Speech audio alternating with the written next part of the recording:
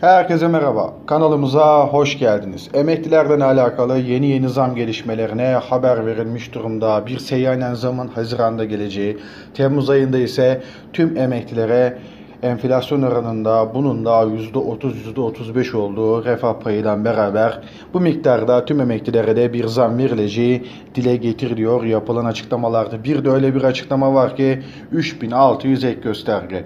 3600 gösterge bilindiği üzere memurlara verilen bir haktı ama bunun bir yasa yoluyla bir yasa yoluyla tüm emeklilere verilmesinin planlandığı dile getiriyor. Bakın 3600 ek göstergeli tüm emeklilere verilerekten bir nebze olsun emeklinin kök aylıklarına kök aylıklarına zam yapılmasının planlandığı dile getirilmiş durumda.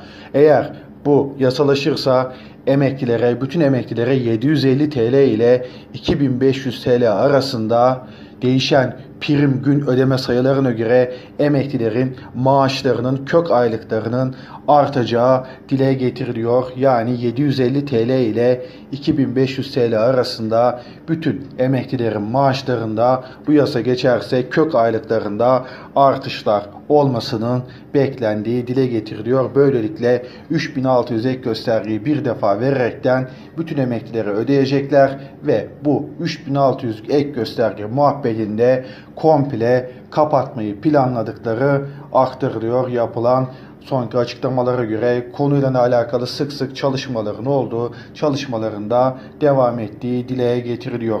Sizce 3600 ek gösterge çıkarsa emeklilere verilecek 750 TL ile 2550 T- 2500 TL arasındaki rakamlar emeklilerin kök aylık